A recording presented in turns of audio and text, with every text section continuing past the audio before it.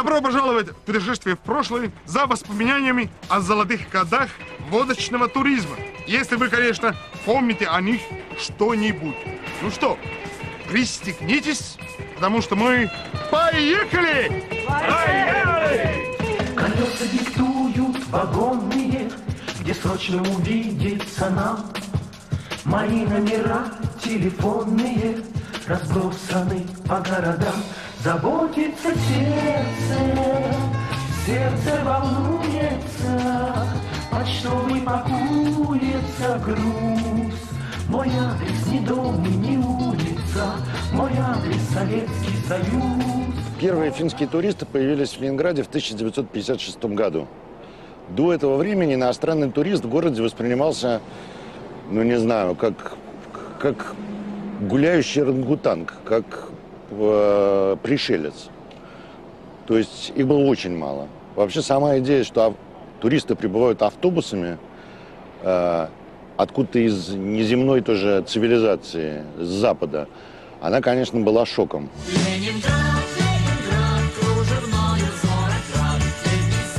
Что такое водочный туризм, сегодня в России мало кто знает. Но и в советские времена с этим явлением знакомы были только в Ленинграде. Водочными именовали туристов из Финляндии. Они приезжали в город на Неве на выходные, повеселиться. А главным образом – выпить. В золотые годы водочного туризма Советский Союз – страна, закрытая от внешнего мира железным занавесом. Интурист к нам валом не валил. Финны – исключение.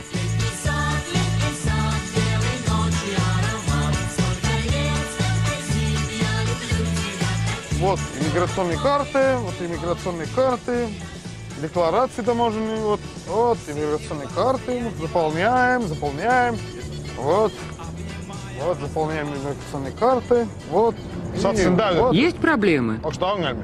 А? Нет, просто вспомнился один случай, когда у одного ветерана войны возникли проблемы. Мы с ним оказались рядом в автобусе по пути в Ленинград. Сидит он, читает анкету и размышляет, как отвечать на вопросы. Вопрос, мужчина или женщина? Ответ, мужчина. Вопрос, гражданство? Ответ, фин. Вопрос, бывали ли вы ранее в СССР и когда? Ответ, в конце зимы 1942 года. Вопрос, транспортное средство? Ответ, немецкий танк. Вопрос, цель поездки? Ответ, подрыв Мурманской железной дороги. Я попытался ему сказать, что с такой бумагой у него будут проблемы со въездом в СССР. А он отвечает, ничего, я уже ездил, никаких проблем. Удалось пройти границу? Удалось.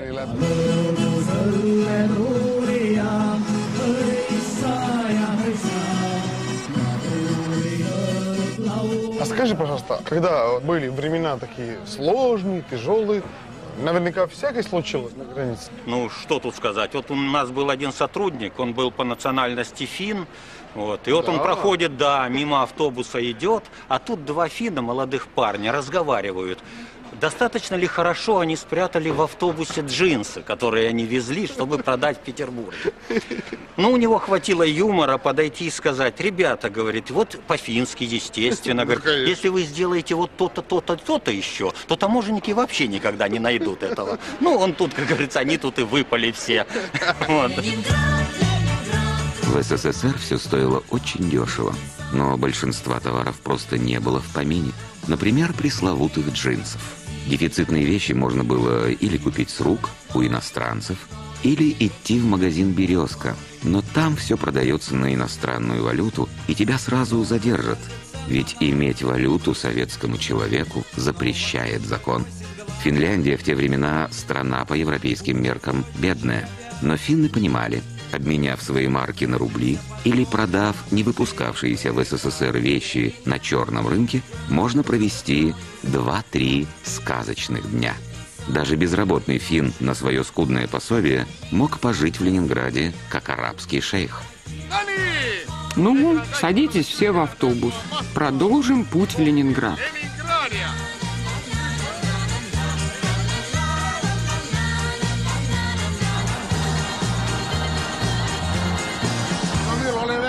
А я как-то попал в СССР без паспорта. Тот год, когда Матиас Руст приземлился на Красной площади. Выпивал я в ресторане на станции Вайникала. Тут прибывает московский поезд, и я сказал другу, дешевая водка приехала. Вскочил в вагон и спрятался в туалете. Въехали в СССР, я переместился в ресторан и заказал водки. Тут-то меня исцапала таможня. Документы? Я им по-немецки. Я Юрген Хаасе из Восточного Берлина, и никаких документов у меня нет. Еду во Владивосток, у меня там секретное задание. И что было дальше? Меня высадили в Выборге, и там устроили допрос. Я упорно стоял на своем.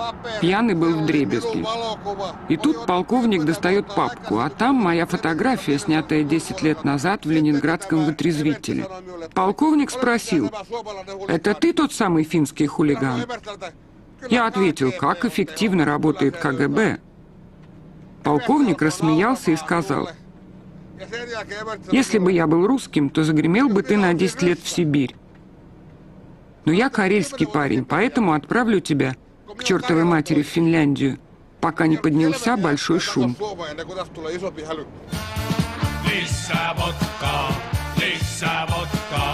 Выборг, бывший финский Виипури, первая остановка водочных туристов на пути в Ленинград. Здесь их поджидали местные форцовщики. Многие выборгские молодые люди овладели этим нелегальным в Советском Союзе ремеслом.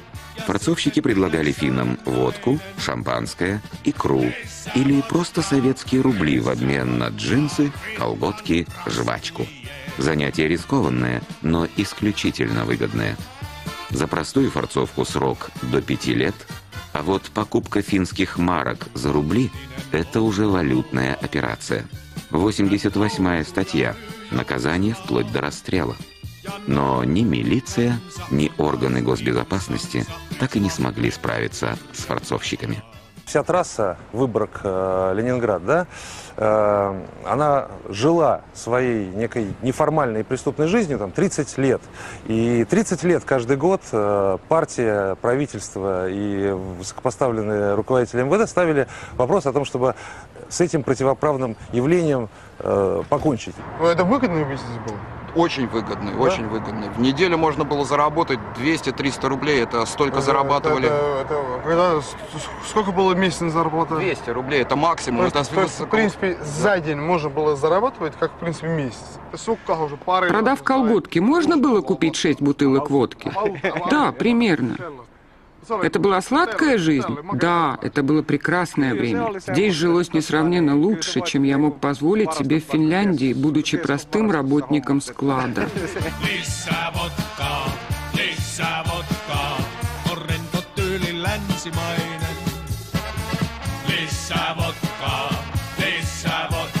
И сегодня водка в России стоит по западным меркам недорого. А уж в СССР она для финнов была практически бесплатной. В результате их безудержного ленинградского пьянства среди советского народа возник миф о Финляндии как о стране, где свирепствует сухой закон. Надо сделать так. Если останется черный след, бутылка подлинная, заводская. Ни с одной капиталистической страной у Советского Союза нет таких хороших отношений, как с Финляндией. Финляндия никогда не критикует Москву, выдает перебежчиков. Финны не вводят в СССР антисоветскую литературу, поэтому к водочным туристам власти относятся лояльно. Они оставляют в стране конвертируемую западную валюту, не допускают политических провокаций, создают нам рекламу за рубежом. Какие-то матрешки, да, или э, элементы э, символики Ленинграда э, финским туристам не нужны были, да. Они покупали эту водку, да, и уже начинали выпивать в, в автобусах, да, поэтому к гостиницам они приезжали уже под шофе.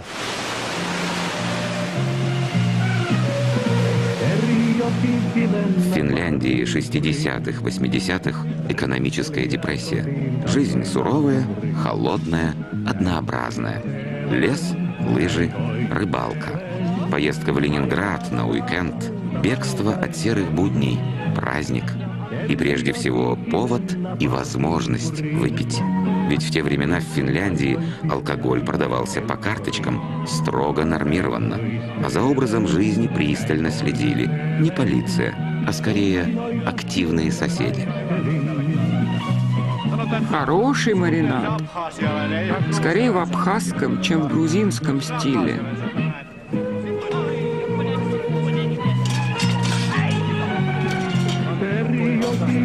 Пересекая границу, финны как будто оказывались в раю. Хочешь – пей, хочешь – гуляй, хочешь – иди в Эрмитаж или на балет. Огромный город, где когда-то жили цари, правившие Финляндией. Я предлагаю тост всем нашим дорогим соспутникам. Давайте.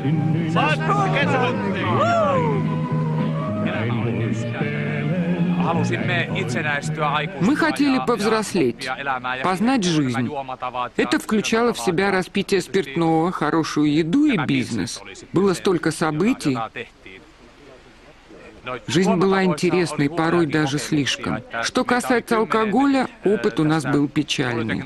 Из десяти студентов в течение двух лет двое скончались. Не выдержали такой бурной жизни.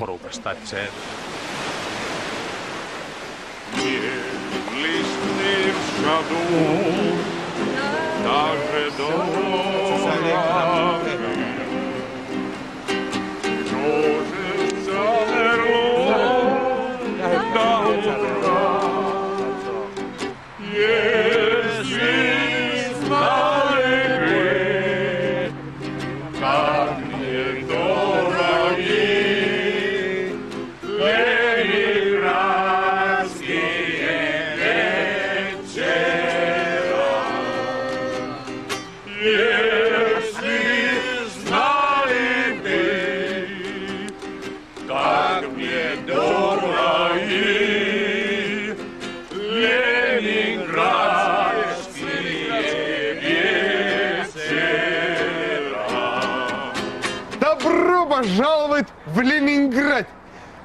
Похоже, что наши все финские четвероногие друзья с нами. Ха! Добро пожаловать в гостиница «Союз».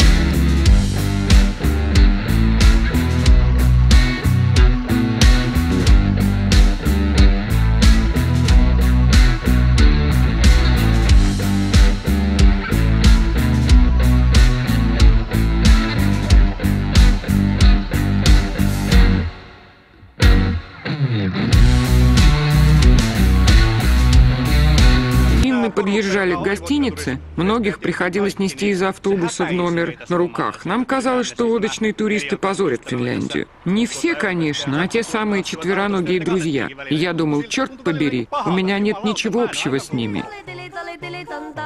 Каждый вечер в пятницу, когда подъезжал финский автобус, у нас кино начиналось. Они, видимо, уже в Выборге получали водку ну и начинали отдыхать. Наши подносчики, для них тоже это всегда праздник были, боролись за этих туристов, потому что кроме чемоданов надо было, ну так, из пяти одного надо было вести тоже на тележке. Их подвозили к, к этой, к стойке портье, подносчик полу- получал ключ, и они весело там, еще с улюлюканьями, уезжали на этой тележке. Ну, это такая была сценка типа супермаркета, знаете, только с людьми на тележках в перемешку с чемоданами. Работа в гостиницах интуриста сулила такие преимущества, какие и не снились на обычных советских предприятиях. Спекуляция привозимыми финными товарами была одним из таких бонусов. Даже уборщицы интуристовских отелей были по-советски гламурны. Наши горничные все, они же навороченные. Им робко говорят, ну не надевайте вы все свои караты, когда вы туалеты моете. А они живут в этих халатиках, декольте, здесь бриллианты, здесь бриллианты. Что, что совершенно изум... туристы обалдевали, потому что как же так, даже бижутерия такого класса, это дорого стоит. А у нас горничные.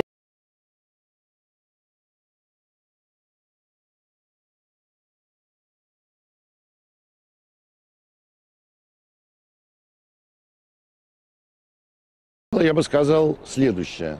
Сначала были только финны. То есть, ну вот, например, я был пионер, и, конечно, я знал по руку Мио. Потому что всякий пионер должен был выпрашивать жевательную резинку. А иначе он был не пионер, а просто гогочка и идиот. А в 70-е годы появилось больше иностранцев, на самом деле. Появились, начался детант, появились стажеры иностранные, появились там итальянцы, американцы. И финны как-то опять начали становиться все больше и больше, скорее, нашими. То есть это такая переходная зона. Это вроде иностранец, и вроде не иностранец. И даже я бы сказал, что как где-то к какому-то моменту они превратились в такой забавный элемент общества. Ну вот есть там, не знаю, цыгане, румыны, играющие на скрипке, еще кто-то. А это финны, это такая часть пейзажа. Вот Зимний дворец, вот Александровская колонна, вот пьяный фин, вот мой приятель Коля побежал. То есть это такая нормальная часть э, ленинградского пейзажа, экзотическая, ну, как, как белые ночи, да, такая наша специфика. Москвичи приезжали и удивлялись, а, а что это у вас? А это вот у нас наши пьяные финны гуляют.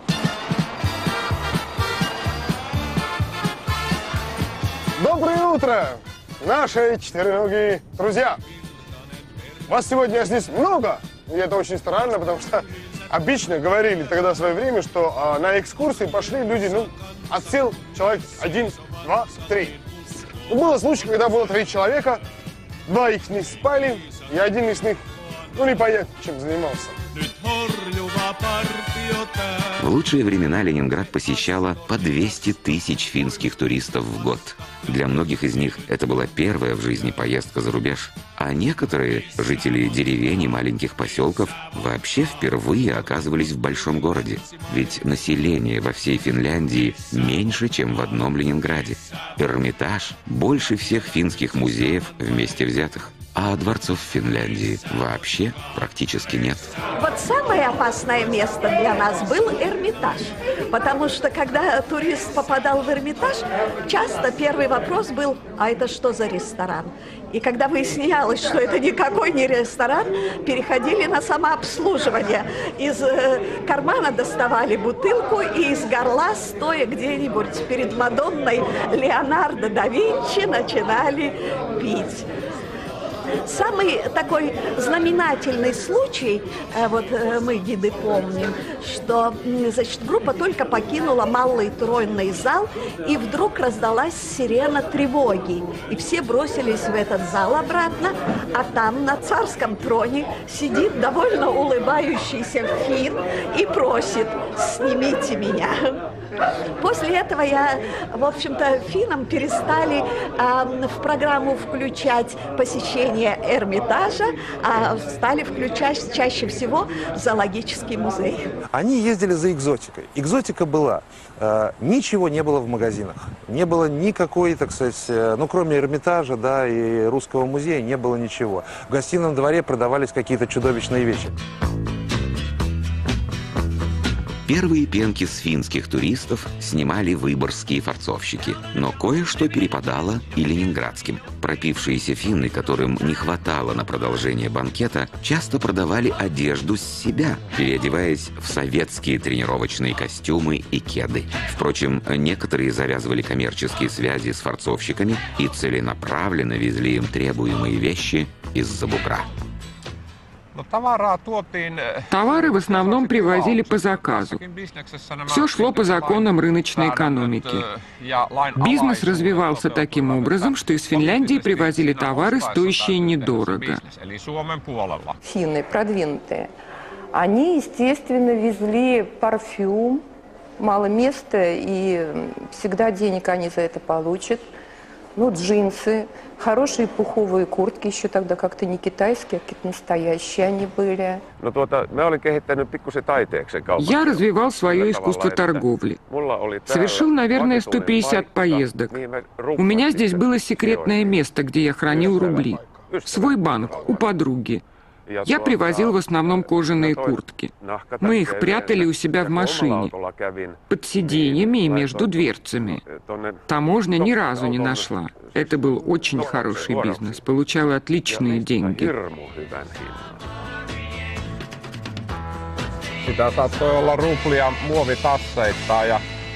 Мы носили рубли в пластиковых пакетах. Расчетной единицей была пригоршня рублей, а 10 пригоршней умещались в пакет.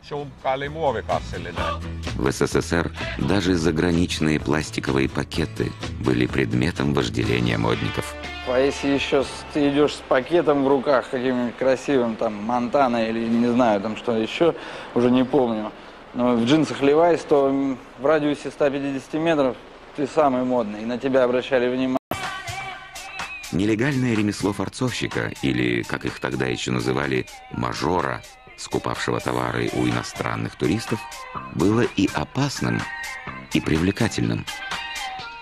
Невский проспект был поделен на несколько бригад. Если в хороших отношениях можно было заходить на чужую территорию, провожая там иностранцев, договариваясь с ними на ходу, потому что стоять на одном месте и разговаривать э, было просто опасно. Серьезно преследовалось по закону, и ходили спецы, и менты. Спрос на финскую одежду был ажиотажный. Отрывали у мажоров и перекупщиков-спекулянтов с руками. Мы знали, что на галерее гостиного двора если ты туда выйдешь и будешь в тоске ходить, то не исключено, что к тебе подскочит некий молодой человек, который спросит тебя на ходу, что тебе нужно, заведет тебя за угол и предложит тебе то, что у него имелось в, в его рюкзаке, в мешке. Это фирма, говорили они, и сразу все как крысы за дудочкой за ним брели. Финнов трудно назвать нацией торгашей, поэтому их бизнес в Ленинграде порой оборачивался катастрофой. Самой легкой добычей ушлых ленинградских барыг становились незадачливые корабейники, простые работяги, фермеры и лесорубы откуда-нибудь из финской глубинки. Поменяться, и когда люди, они пьяные или им надо было похмелиться, в этот момент, конечно, можно было менять с ними очень много, за, получалось очень дешево и выгодно. Ну а так они, конечно, были как дети. Случалось так, что финские студенты делали бизнес на финских туристах. Они прикидывались русскими. И здесь, на углу отеля «Европейская», спрашивали у финских туристов, есть ли джинсы? Туристы отвечали, да, есть. В номере отеля можем принести. Когда туристы приносили джинсы, студенты показывали советский студенческий билет и говорили, мы из КГБ, спекуляция незаконна, пройдемте на допрос в Большой дом. Или можете заплатить штраф на месте, 100 марок. Вот так зарабатывали финские студенты.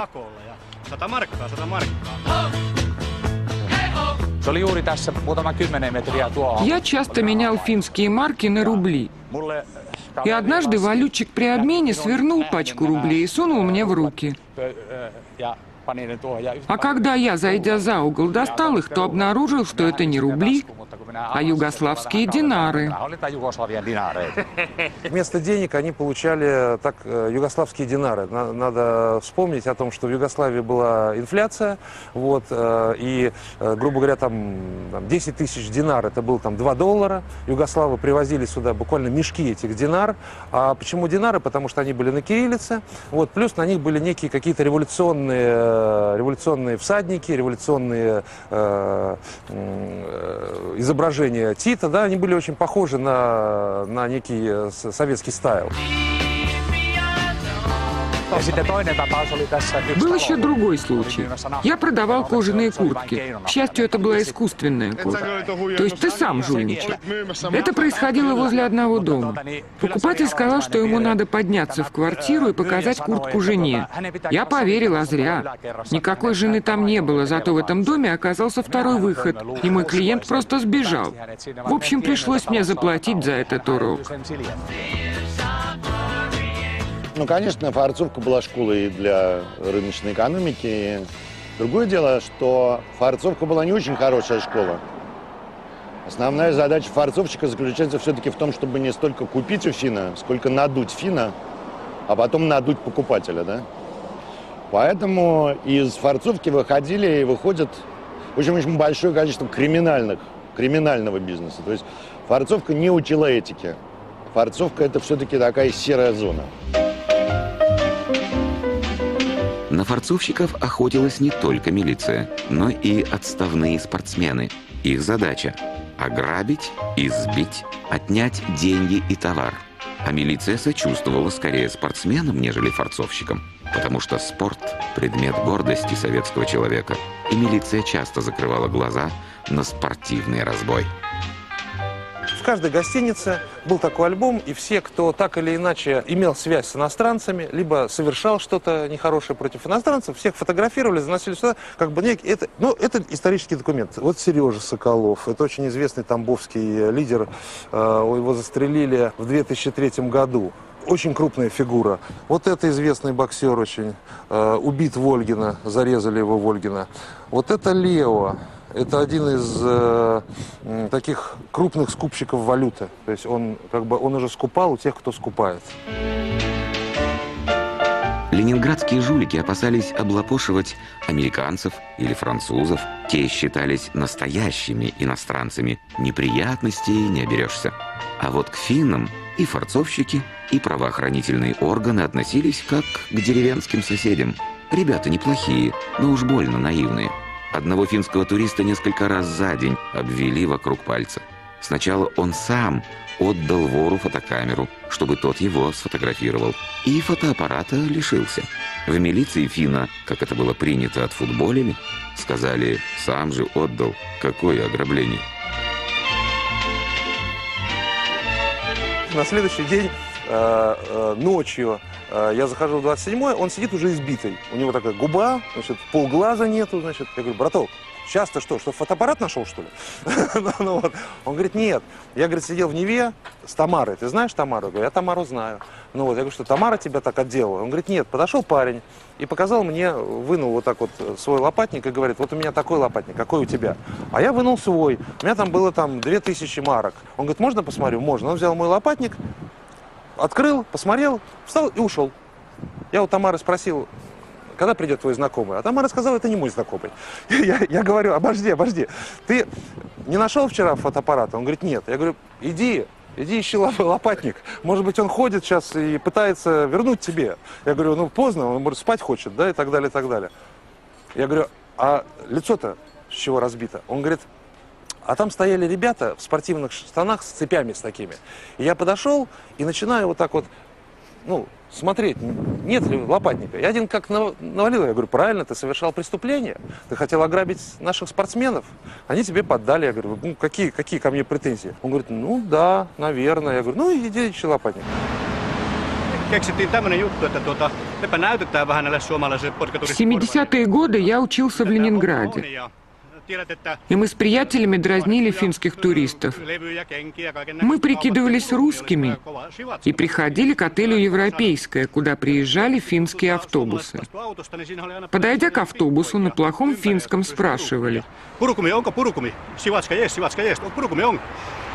Если нам давали жвачку, то мы смеялись. И, переходя на нормальный финский, благодарили за помощь. Мы украли деньги у родителей у папы из кармана я вытащил 3 рубля. Мы ну, купили на эти деньги значков. Ленина, Аврора, маленький Пушкин, сидящий на лицейской скамье. Ну, в общем, весь набор какой только был. И пошли в Эрмитаж, потому что мы знали, что финские туристы бывают в Эрмитаже. Пошли в Эрмитаж, поднялись по Иорданской лестнице и стояли на площадке около Николаевского зала. Появились финские туристы. Мы знали слова. Мы сразу сказали «Пурукумио», и как только мы сказали Пурукумию и предложили свои занятчики, они уже потянулись за Пурукуми, появилось три милиционера. Значит, вызвали мою маму, маму Миши Петрунькина, потом нас песочили в школе, и таким образом контакт между мной и гражданами Финляндии был прерван на много лет. Миллиона, миллиона, миллион алых роз. В Финляндии все всех знают. Нравы пуританские.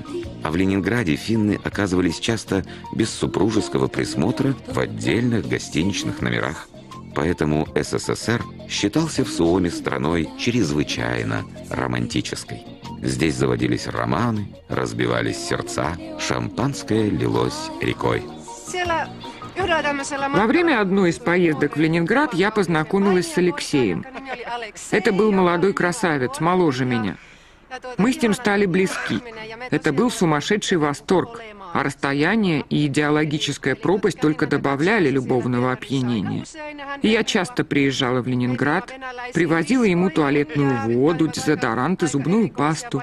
Он со своей стороны обращался со мной как с цветком, водил на советские дискотеки, в разные интересные места, знакомил с друзьями, угощал в кафе советским шампанским и шоколадом, мороженым.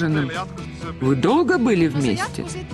Нет, недолго, но это было очень бурно и романтично. Жизнь развела в разные стороны. Роман завял после того, как я встретила Пекку, моего будущего мужа. Я долго не приезжала в Ленинград, но в конце 90-х годов приехала. Однажды вечером попросила своего русского шофера порекомендовать хороший ресторан – он предложил пойти с ним и его другом поужинать в дом архитекторов. А друг этот только что приехал из Соединенных Штатов с командой игроков НХЛ. Когда увидел этого друга, чуть в обморок не упала. Это был Алексей. И он в изумлении воскликнул «Анна!» А я закричала «Алексей!» И этот вечер в ресторане был феноменальным. Скромные, молчаливые, застенчивые финны – пользовались у ленинградских дам необычайной популярностью. Кто-то рассматривал брак с финном как способ улизнуть за границу, а кто-то проводил ночи с финнами ради красивых шмоток. Валютная проституция в Ленинграде ориентировалась по преимуществу на граждан Суоми. Были девчонки, которые молодые, среднего возраста, и те, кто уже как бы в расходе, они уже по домам. Ты его везешь рублей за 25, за 30, и она тебе еще за доставку дает, и говорит, там, через часик обязательно заедешь. Вот. Ну, ты там через час, там через час 10 заехал, он, вы, она выходит, радостный, там все. Ты опять в отель, и опять все. Другой, так, был такой поток. Как-то утром один фин вернулся в гостиницу в одних носках. Что же случилось? Он рассказал, что был с прекрасной Ольгой и занимался с ней любовью в машине. Все шло отлично. Но в разгар событий Ольга сказала, «Можешь ли на минуточку выйти из машины, чтобы я заняла более удобную позу?» Конечно, финский мужчина, привыкший всегда быть вежливым, так и сделал. И оказался на улице, в одних носках, а Волга умчалась прочь. Volka lähti. Mä muistan, mä muistan, mä kävelin Nevskiä, äh, kello oli jotain puoli neljä. Однажды шел я по Невскому примерно в полчетвертого утра. А по другой стороне шел человек в куртке, спортивных штанах, но при этом босиком. И было совершенно понятно, что это фин. Я перешел на другую сторону и сказал ему по-фински «Привет».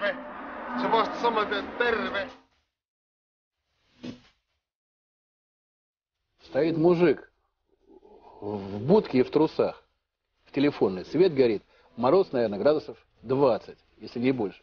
Человек замерзнет на самом деле. Думаю, ну чехоня же стоит наверняка. Вышел, к нему дверь открываю, Суамаланин, ну это по-фински, ты фин.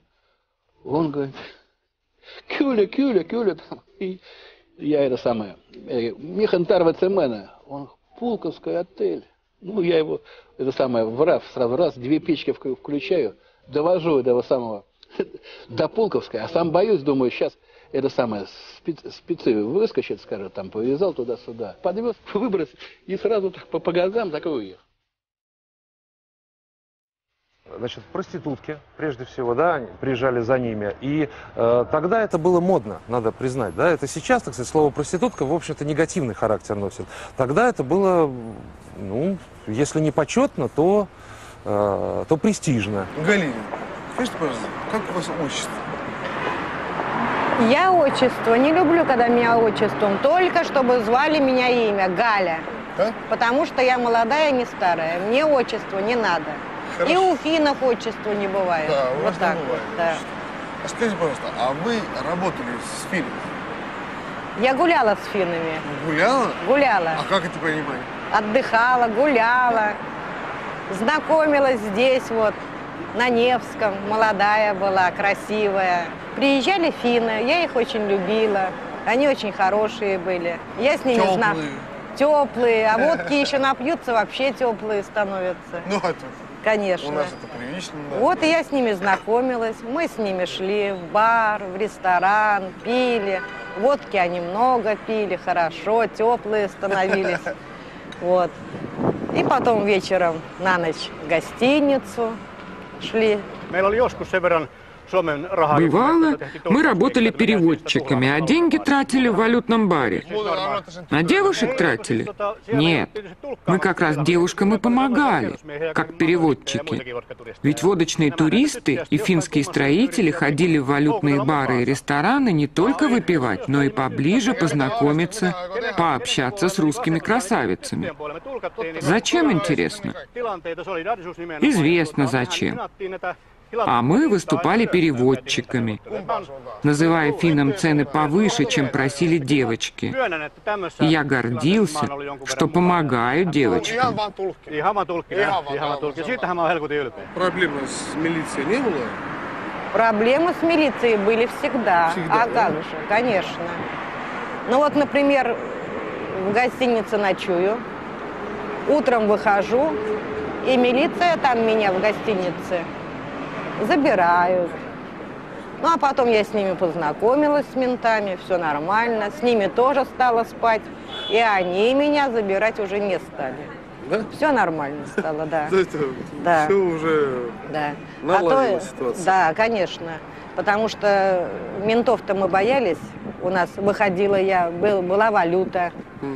Они забирали, стали ну, следить, это, смотреть, где, э, спрашивать, где Откуда вы валюта. спрятали деньги? Вот у меня волосы, вот э, когда вот такие бывали, я сюда вот это, это валюту, да, валюту. Вот смотрите.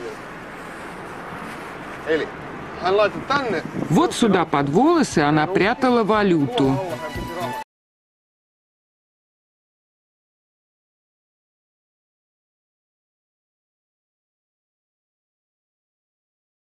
Финские мужчины здесь ходили к женщинам.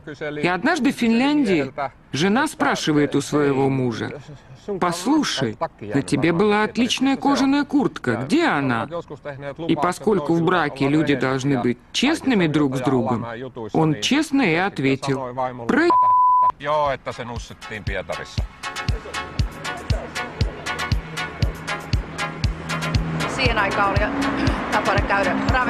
В то время было принято ходить в валютные бары при гостиничных ресторанах. Однажды были там с большой компанией, в которой было много иностранцев. И неожиданно пришли двое мужчин, одетых в черное, и сказали «Девушки, на выход!». Мы удивились, что бы это значило. В комнате для допросов выяснилось, что меня приняли за русскую проститутку.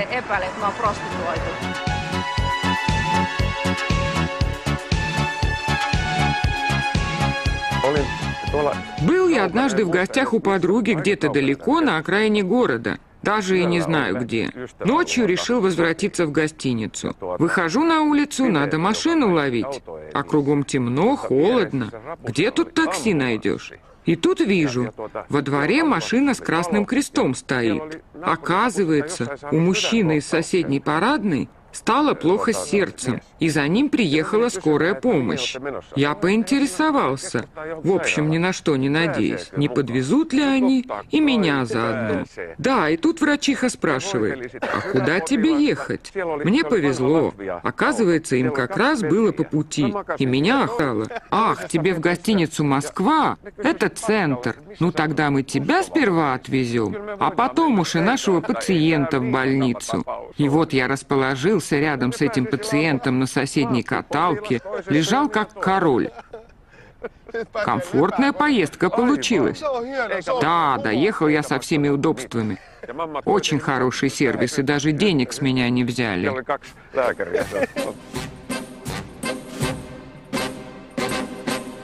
Утро перед возвращением в Финляндию всегда похмельная.